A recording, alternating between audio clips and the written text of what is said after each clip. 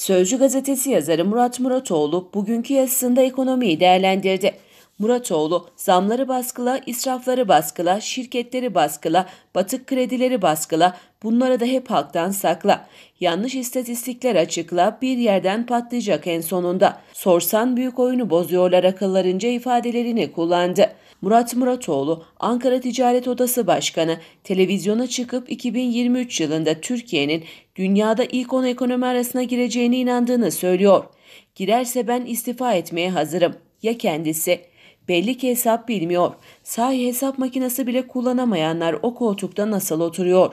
İlla dikkatinizi çekmiştir. Ülkede koltuk sahipleri sürekli bir yağ çekme derdinde. Birilerinin önderliğinde destan yazma, coşmak, kıskandırma, kabına sığamama halinde. Lebalep dolu salonlarda bunu haykıranlarla el ele. Vatandaşı da farklı sanki. Sokakta açım diye bağırıyor, Vali çağırıyor, açım demedim aşım dedim.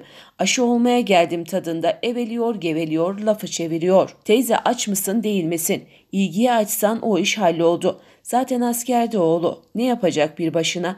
Devlet çağırınca tabii ki korktu. Ben de olsam açım demedim, aşığım dedim derdim. Ardarda fantastik açıklamalardan sonra bir de gerçeklere bakıyoruz. Fena çakılıyoruz. Hiç kimse aç değilse memlekette ne güzel işte. Güzel kardeşlerim, siz hiç mi alışveriş yapmıyorsunuz? Geçen yıldan daha fazlasını alabiliyor musunuz? E o zaman mutluluk vasıtanız ne? Enflasyon yıllık %15. Bu ne demek biliyor musunuz? Geçen yıl kazandığın 1000 liranın alım gücü bugün 850 lira. Bir yılda kazandığın paranın %15'i uçtu gitti. Fakirleştin. Lakin Ay'a gitme hayali kadar gündem olmuyor. Saçma sapan bir uzay yolculuğu derdi sardı koca ülkeyi. Enflasyona kimse gıkını çıkarmıyor. Peki enflasyon düşer mi? Mayıs'a kadar düşmeyeceği aşikar. Yıllık enflasyon tüketici fiyatlarında %15, yurt içi üretici fiyatlarında %26'da.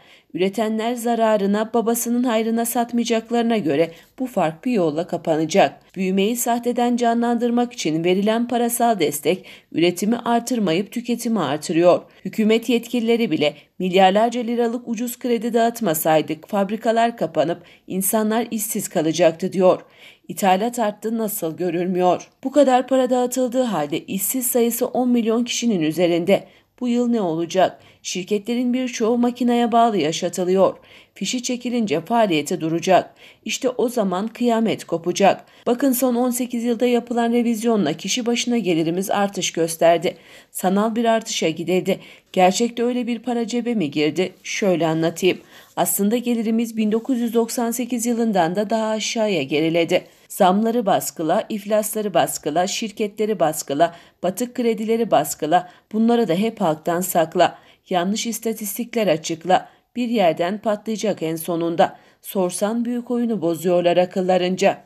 Ne olacak uyanınca? Yıllardır uyanmadılar şimdi mi uyanacaklar? Bu tarlaya ekilen bir şinik kekere mekereye boz ala boz başlı dış güçler dadanmış derler. Ninni söylerler, uyuturlar yine dedi.